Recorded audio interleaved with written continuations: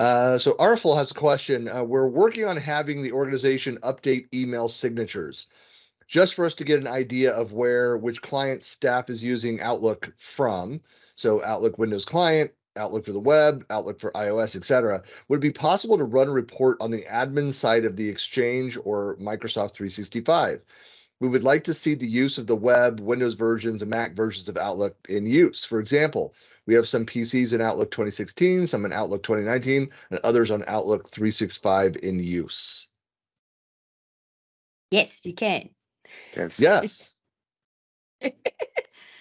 In the reporting, it actually shows you who's using who's using what when it comes to Microsoft 365, and that's overarching. Mhm. Yeah, that that that that data is there that you can easily go in and and find for the entire organization of how people are accessing the various tools. So yeah, that's like an out of the box. Yeah, Yeah, out of the Report. box. I believe it's it's shown right on the mailbox statistics. If you pull up a mailbox, it'll show you what, if anyone is connected and what they're connected with. Yeah, straight on the main admin center, you can go to, um, you can go to reports and go to usage, go to Mm. exchange and go to email app usage and it tells you everything you want to know. Yep. Yep. And that's that's for a lot of them under the app usage and it will go into um, quite a lot of different ways because it will look at um, windows it'll look at mac it'll look at um, outlook m- mobile it'll look at m- mail on um, like there's mail on a mac there's are they using an imap a pop a, there's all the different ways that they're actually coming in in terms of the way the user's doing it and then it's like and then what app are they actually using to access? So it will actually go through all of those components. Um, unless you've actually got the um, identifiable information turned on in your reporting you're not going to see who's doing what. So you have to have that turned on if you really need to know the specifics to be able to help or support them especially if it comes to anything off the back of it Well, the other half of this is the uh, you know working on uh, you know uh, the updating signatures and managing signatures. Has anybody tried to do that out of the box? It's actually coming. It's a new feature. Um, Microsoft have turned on to be able to do the auto um, rollover from if you move device. I know that is in play, but the auto signature to say I haven't seen anything that would push out. Have you seen anything? So I haven't seen anything that would say it is on a mobile or it is on. It's there on a mobile automatically. It kind of comes up and you can leave it in. But Yeah. apart from that, I don't know about it being. You can set one up for your desktop, but if you set it up for the desktop and with the new new uh, feature coming in that might then roll over to your online to know through the browser version which would be because they're trying to sync you know the way that it looks across all of them i'm not sure that would work Well, just signatures in general, do you know, have the ability to synchronize your signature in the cloud. So any device you connect, once you've done that, it's uh, going to be automatically gets it. It's just, it's just there. Yeah. I, I love my third party. It looks and looks really great.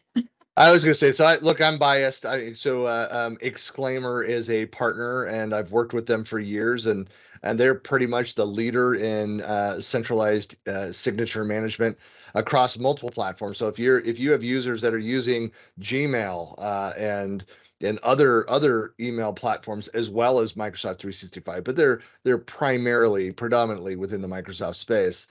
Um, but then you could actually go in and um, um, I'm actually writing an ebook for them right now. Um, but you could actually go in and do uh, uh, set it up and do marketing campaigns. So you can have email signatures that automatically change by department, but based on campaigns that are rolling out. Or if an event comes to an end, it changes the banner that's attached to it. Um, I mean, there, there, also you you can do polls through signatures. I mean, uh, it just it's amazing what you can do when you centrally manage those components, and that is stuff that is not available within the Microsoft, uh, uh, you know, out of the box solutions. Um, so depending on what you're trying to do, Artful, um, there are great platforms out there, but I would definitely go take a look at Exclaimer. I'm not paid for saying that. I just really like their product. Uh huh. Uh, Yeah. Doing other yeah. stuff with them, but yeah, Yeah. Yeah. We know. We know. Yeah, yeah, yeah. It's So it's one it is one of those solutions that where you know people that you know finally go and see it and be like, why have I not been using this as a as a company doing this? It's pretty slick, but all right, Yeah, there now are a I'm lot off of great third- soapbox. There's a, no, well, but there is a lot of great third party. A lot of times, the things that we answer do have a third party solution. It may not always be inside Microsoft, so knowing which ones can do what is also hmm. important.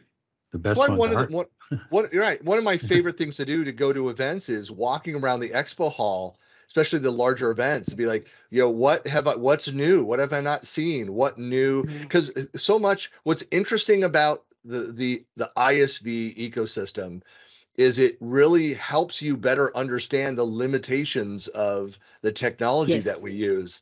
And Yes. Microsoft marketing will try to paste over, cover over, paper over the uh, sometimes the gaps in the feature set, uh, and where partners will go right in and automate, clean Provide the up, paperclip? organize that.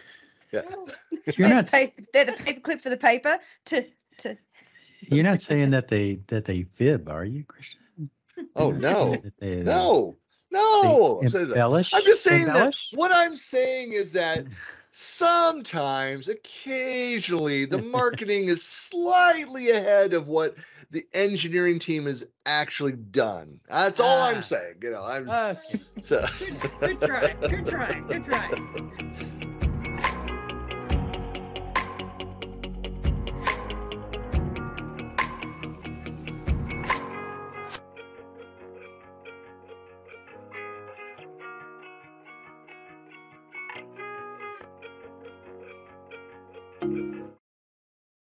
Suddenly, Christian Buckley is no longer an RD and MVP. A non-paid, non-attorney spokesperson, yes. That's right.